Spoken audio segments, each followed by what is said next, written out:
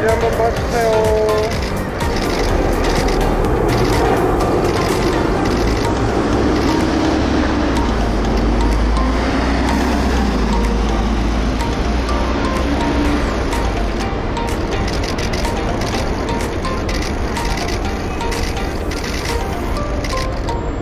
하트.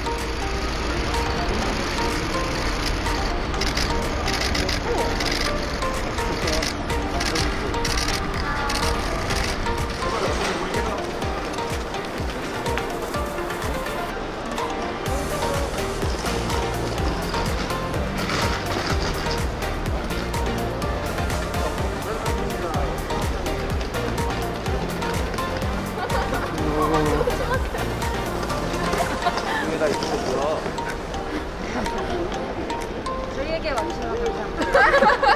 누가 누구한테 가야 돼? 아니, 그걸대로 걸린다는 소식을 누가요? 그걸대로 걸린다는 소식을 들어. 와주신 기자님 얼굴 바로 기억해.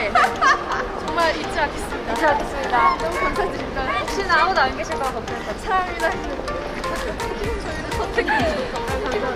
너무 감사합니다. 짝이 셋이다. 비행기 타는데 약속 다 올라오는 거 아니야?